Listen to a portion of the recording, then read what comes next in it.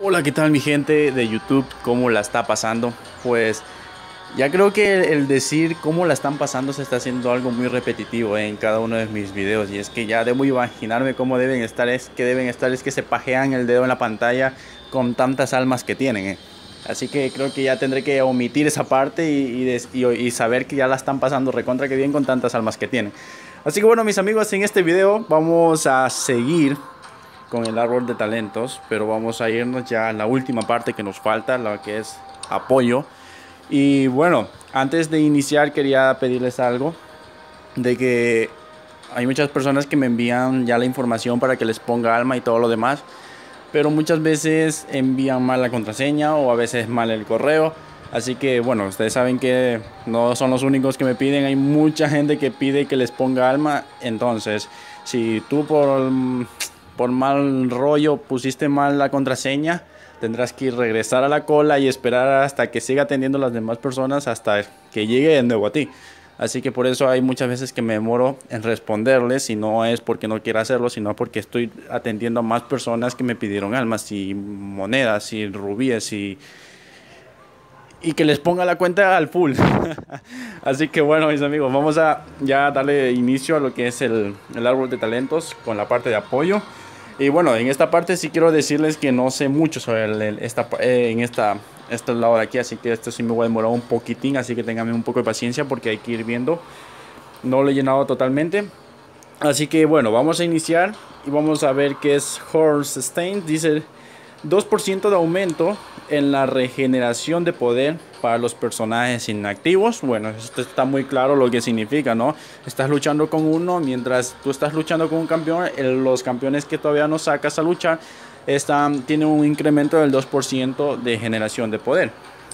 Al momento que ya ingresa a la batalla, obviamente ya se les quita ese incremento. Eh, vamos con la siguiente que es 4% mm, eh, de resistencia a todos los perjuicios, que esto viene muy, muy, muy bien a todos los perjuicios significan a todos, o sea, a los que te inhabilitan poderes, a los que te drenan, a los, qué sé yo, a los que te hacen sangrado y toda esa vaina, eh, a todos los perjuicios en sí. El siguiente es que el aturdimiento ahora posee un 10% de probabilidad de, aplicar una defensa rota a todo el equipo enemigo. Esto se da muy bien cuando tienes a la maldita Sonya Blade eh, de Guerra Fría, la tienes en el equipo enemigo. Por si ingresas con una milena y la milena siempre aturde y por lo tal va a generar una defensa rota. Claro que es con una probabilidad. ¿eh? Aquí estando en cero es del 10%. Imagino que aumentando se va a ir aumentando un poco más. Así que en mi caso, en mi caso yo utilizaría la de la probabilidad de aplicar una defensa rota porque si me han venido muchas Sonya Blaze en, en el equipo. Especialmente cuando me viene Scorpion Sonya Blade y Raiden. Entonces el escudo te jode bastante porque no puedes aplicar el, tu poder. Porque primero tienes que romperle el escudo y después aplicar. Entonces eso ya es una pérdida de poder. Entonces esto siempre lo aplico yo. Así que lo vamos a ir llenando ahorita. Tan, tan, tan, tan. Listo. Vamos, 5. Vamos al siguiente. Teamwork. Esto aquí dice que 2% del poder gastado en, los specials se devuelve a cada compañero de equipo inactivo. Esto se da recontra que bien. ¿Por qué? Porque tú lanzas el poder 1, lanzas el poder 2 o lanzas el poder 3 y te va a regresar un 2% del poder gastado. Eh, se devuelve a tus compañeros inactivos. Imagínate que tú activaste la primera carta que te da 2% de aumento de generación de poder a los personajes inactivos. Y además de eso te activas este, que tienes un 2% de, de, de gasto, o sea, 2% del poder gastado se devuelve a tus compañeros inactivos. Entonces vas a tener un... Ahí, ahí ya solo tienes un incremento del 4% en tus personajes inactivos, lo cual se da muy bien. Entonces el, poder de un personaje estando inactivo se va a recuperar recontra que rápido. y bueno, sigamos con el siguiente. Los compañeros de equipos que ingresan tras un relevo obtienen un aumento del 4% de generación de poder por 10 segundos. A mí me gusta activarme más esta carta que la otra. Porque por si ingresas con Milena, siempre con los diamantes tienes combos más largos. Entonces tienes probabilidad de, de asegurar esos 10 segundos. Esos 10 segundos que te da esta carta y de recuperar poder como bestia. Ustedes vieran cómo recupera poder Milena cuando tiene esta carta y cuando la activas, cuando le pones eh, generación de poder a un 150%. Es una bestia. O sea, ingresa y ya tiene el poder 2. O sea, inmediatamente. Es, un, es una pasada. Por eso me gusta activarme esa carta. Iron Fist, ya no sé qué significa. Todos los ataques no bloqueables generan un por ciento más de poder. Todos los ataques no bloqueables. Esta carta, bueno, no sé si para ustedes, pero para mí no es algo tan llamativo. Sería algo así como los críticos, ¿no? Como la carta que había de los críticos, que si te generan críticos, eh, te aumentas un poco la barra de poder. Más o menos así.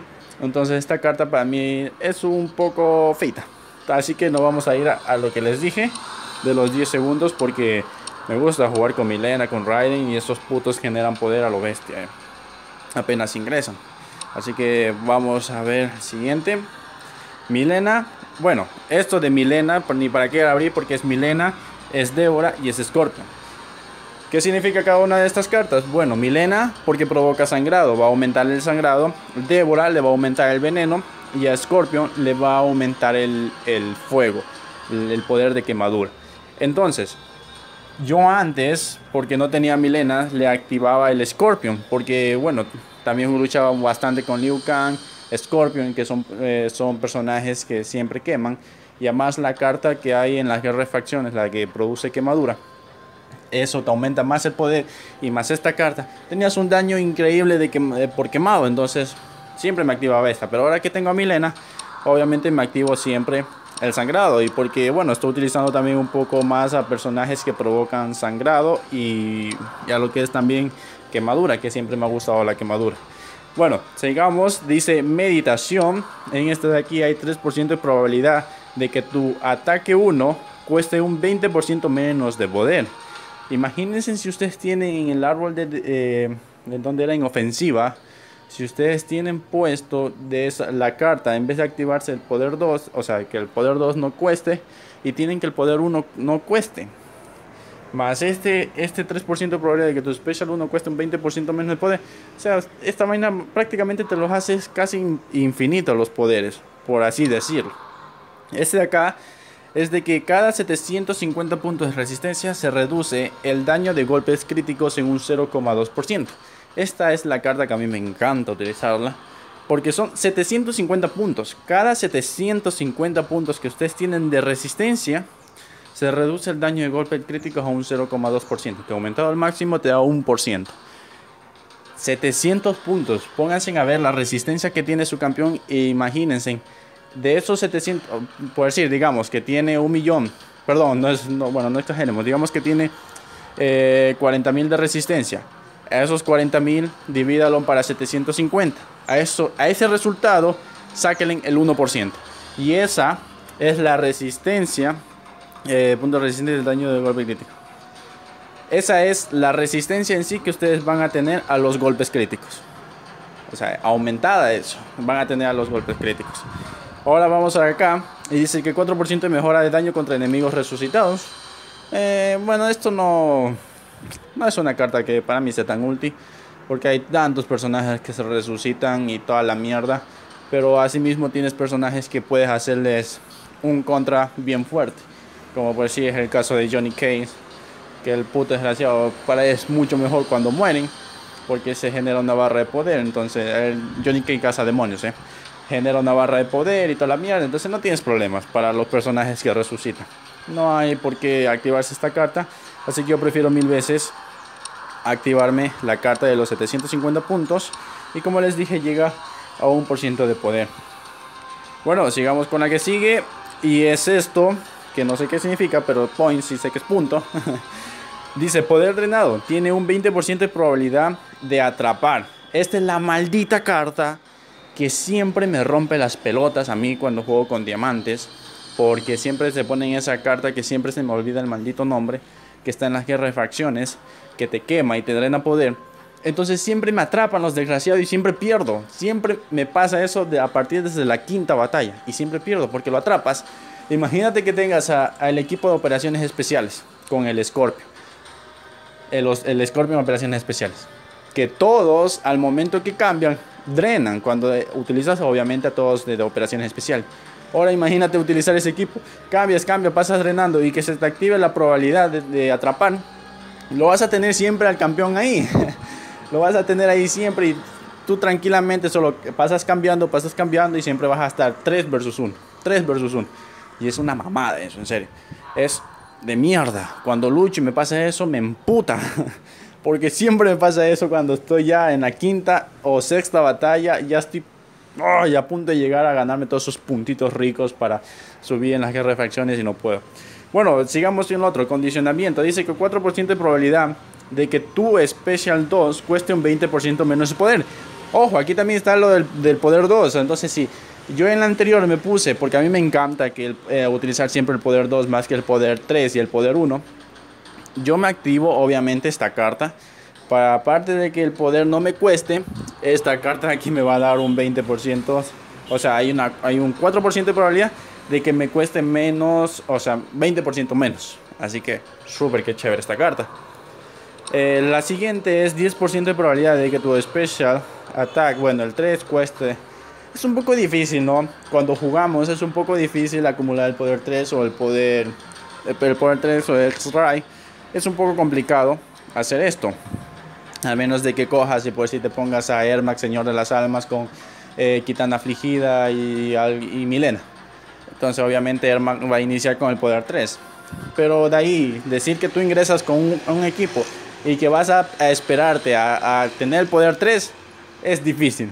Porque si te quedas esperando a acumular el poder 3, te follaron. Así que esta carta para mí no la descarto por completo y me quedo entre la primera y la segunda. Pero a mí como me jode mucho eso de atrapar, obviamente me voy a poner la primera para que así los putos cuando me atrapen yo también los atrape. Y como hay otra carta en la que tú puedes evitar todos estos tipos de daños con el tiempo, que imagino que el atrapar también es uno de esos. Tú utilizas un ataque y te quites ese, ese, el atrapar. Entonces, utilizo este y me voy a poner este aquí. Porque me emputa cuando me atrapan. Y ahora yo también quiero atrapar, ¿eh? Así que bueno, sigamos mis amigos. Y aparte con la carta de la guerra de facciones siempre ingresas y vas a... A mí siempre me atrapan, ¿eh? Les juro que siempre ingreso y me atrapan. Bueno, sigamos. El, este, el que sigue dice... 3% de aumento del daño de los ataques básicos contra enemigos que sufren daño en el tiempo.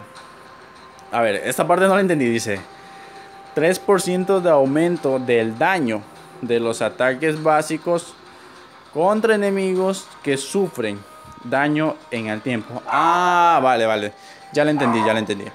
O sea, si por decir un personaje está sufriendo de quemadura o sangrado o envenenamiento o algo así, cuando tú le pegues va a tener un 3% de aumento de daño a los ataques básicos, o sea, le vas a pegar un 3% más fuerte, porque el personaje está sufriendo daño con el tiempo. Eso es así de simple. Es una carta interesante, especialmente con la maldita Milena que te pega el sangrado y te quedas ahí sangrando te da muy bien que a Milena se le aumente un 3% el daño de ataque. La siguiente, mi amigos, es 2% de poder gastado en Special Attacks. Se devuelven a tu personaje activo. Esto está muy bien. Por fin se le devuelve al personaje que está luchando y no a los putos que no están haciendo nada. Así que esta carta está muy bien, está muy bien. 2% de poder gastado, wow, está bien. Es como las anteriores, pero esta, esta sí da al personaje que está luchando. Vamos con el siguiente. 3% de probabilidad de deshabilitar todos los special enemigos durante 5 segundos al utilizar el special 1. Esta carta maldita ha sido. Obviamente me voy a activar esta. Me, paso por los huevos a las demás cartas y me activo esta. Y es porque siempre eh, cuando tú ingresas y te cambian de campeón y te lanzan el poder 1 no sé si te ha pasado, pero a mí sí me ha pasado muchas veces. Los desgraciados me lanzan el poder 1 y ¡pam! Quedo atrapado y aparte de eso, quedo inhabilitado los poderes. Cuando yo digo, pero ¿cómo mierda? Si él no tiene para inhabilitar poderes. Y ha sido esta maldita carta la que me ha estado jodiendo la vida, eh. Así que no lo voy a pensar más y me la voy a activar porque a estos putos les voy a inhabilitar sus poderes para que me dejen de estar haciendo partiendo el ojete. Así que bueno, ya vamos con la última parte, mis amigos. Y es Lincoln Reverence. Dice 10% de probabilidad de reflejar un 100% del daño del Special One al bloquear. No es algo tan interesante. Y dice 4% de probabilidad de reflejar un 100% del daño. Este obviamente yo me lo activo. Porque el Special 1, la mayoría de los campeones, que, o sea, el campeón hasta el momento que solo utiliza el Special 1 es el Aaron Black Pistolero, el, el diamante. No, no creo que es pistolero. Bueno, no me acuerdo el, nombre como es. Pero es el único que utiliza el poder 1. Y es que las personas solo lo ponen por eso. Para dar fuego de cobertura y para inhabilitar los poderes. Porque es con el primer poder inhabilita los poderes. Es muy rara vez, muy rara vez la, eh, la ocasión en la que el Aaron Black, el enemigo, te lanza el poder 2. Es escasa la, la vez en que pasa eso. Más utilizan a este, incluso yo lo utilizo así para inhabilitar los poderes. Así que obviamente me voy a activar el poder 2. Y bueno mis amigos, esto es todo en cuanto a la carta de apoyos. Eh, ya obviamente ya terminamos todo el árbol de talentos. Espero de que un poco mi explicación les haya servido. Y bueno, de esta es la manera en la que yo me activaría mi árbol. Si yo tuviera todos los puntos, créanme que de todas las maneras en que les he explicado, tanto en ofensiva, defensa y apoyo, siempre voy a, iba, voy a tener mi árbol así. Así que eso es algo de lo que estoy tratando de investigar. Cómo ponerme más puntos porque ya voy la sexta vez que voy pasando la torre Shao Kahn y hasta el momento no me dan puntos. Yo dije, bueno, tal vez la tercera vez que lo juegue y tal vez me den puntos de talento y nada. Así que, bueno, eso estoy investigando cómo hacerlo y claro, obviamente después también eso será parte del el hackeo global que tenemos entre ustedes y mi persona. Así que bueno mis amigos, les deseo éxitos y por favor denle un descanso a ese dedo porque el pajearlo mucho también le va a sacar después músculos imagínense un dedo musculoso, ¡ah! se ve raro. Así que bueno mis amigos, me despido y nos veremos hasta la próxima, que no sé qué voy a hacer en el, nuevo video, en el próximo video, pero bueno, alguna mierda se me ocurre. Así que chao chao chicos y que la pasen bien.